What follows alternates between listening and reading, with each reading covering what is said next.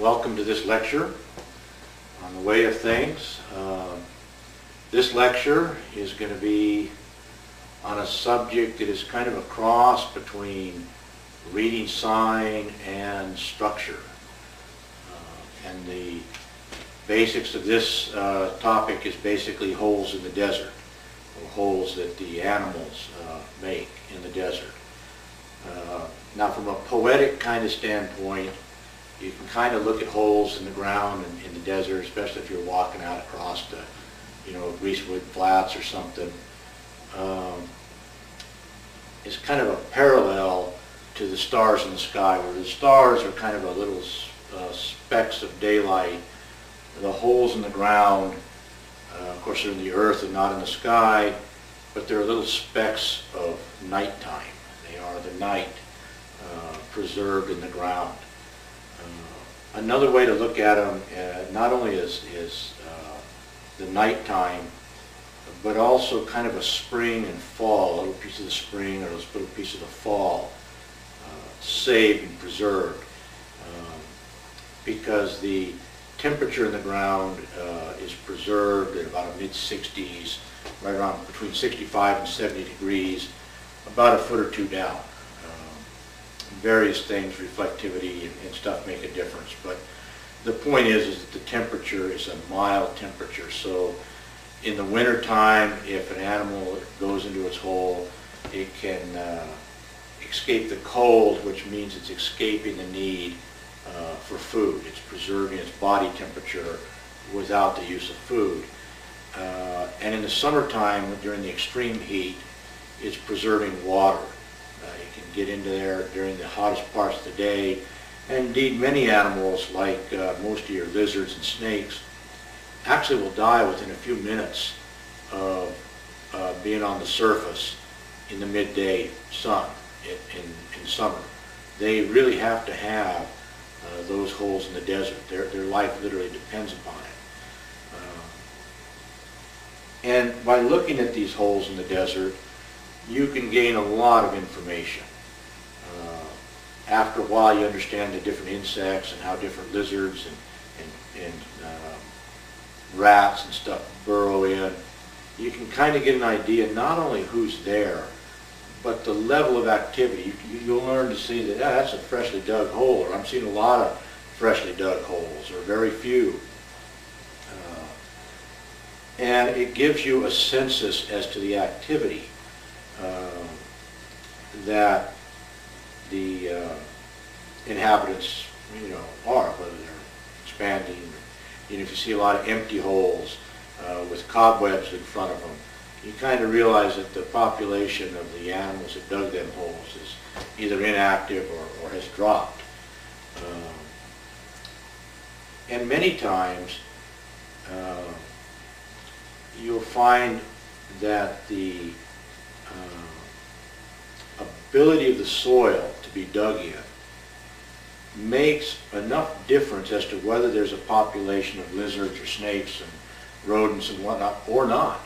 It, regardless of the fertility of the ground, uh, without holes, many of the animals simply couldn't live. So if the sand is too soft and it caves in, or if it's too hard for them to dig into, uh, they simply can't live there. Some certain species simply cannot live there.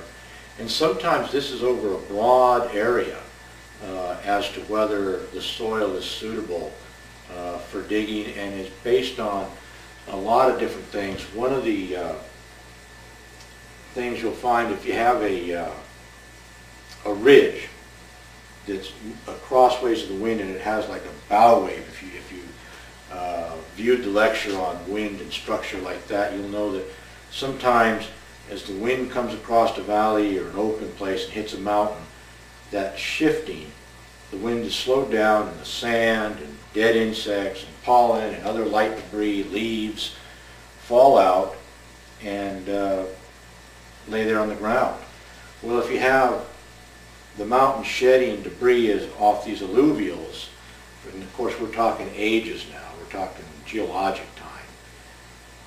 It runs a fresh uh, batch of gravel down, centuries past, putting soft sand and, and leaves and, and debris mixed with that. Then another washing comes along and mixes and, and uh, covers that last, and then the wind over the time puts it back.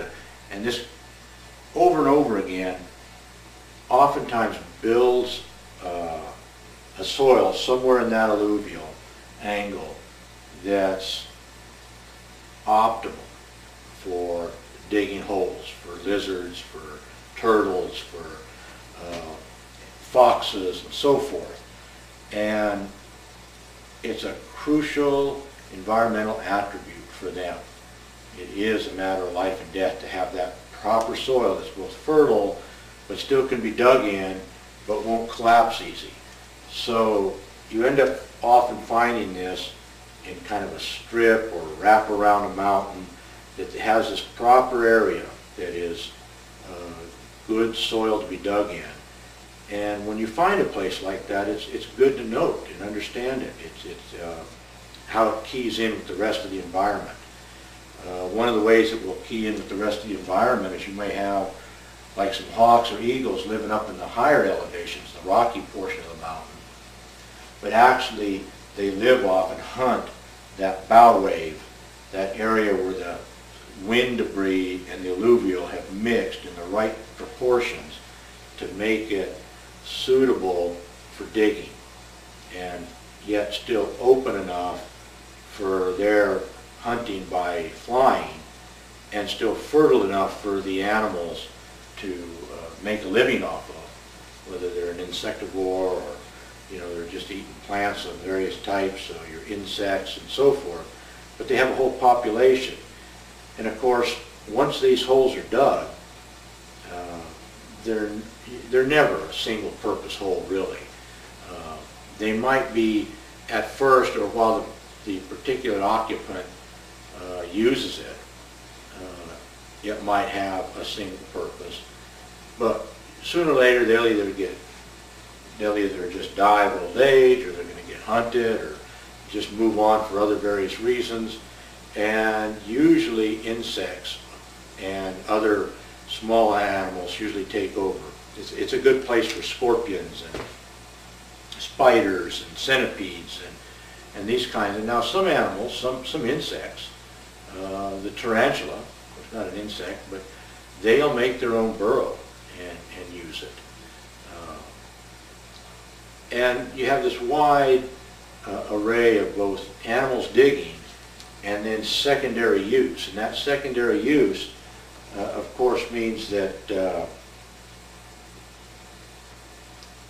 it, it's, a, it's a resource for, for everything, for, or for a wide range of, of uh, an, animals as well as plants. Uh, a lot of times uh, seeds and stuff like that can fall down in these holes and eventually they do cave in and then a rain can come along and now you have a seed that's actually planted and there's a certain amount of uh, churn in the soil uh, when it's right. Uh, so holes in the desert are really an important thing to understand, to be aware of, and uh, truly understand their significance. Uh, and for somebody trying to learn the ways of the desert, uh, this is a necessary knowledge. And with that, I, I thank you. I hope that uh, I've enlightened and, and, and helped uh, somebody understand their significance and increase your enjoyment of the desert. And with that, I thank you.